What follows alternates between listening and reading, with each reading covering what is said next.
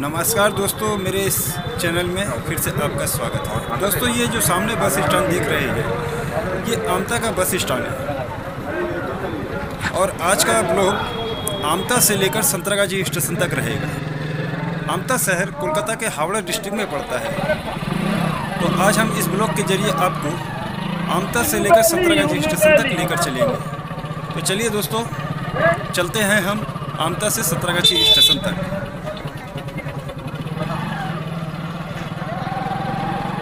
दोस्तों आमता से अगर आप बस में चढ़कर जाएँगे तो आपको रानी हाटी होकर जाना पड़ेगा। तो, तो आमता से सतरागाछी का समय लगेगा आपको करीबन एक घंटा और 33 किलोमीटर की दूरी तय करना पड़ेगा। तो आमता से रानी हाटी की दूरी है करीबन 16 किलोमीटर और रानी हाटी से सतरागाछी स्टेशन की दूरी है करीबन 17 किलोमीटर। तो चलिए दोस्तों पहले हम चलते हैं रानी हाटी। रानी हाटी से सतरागाछी का सफ़र तय करेंगे।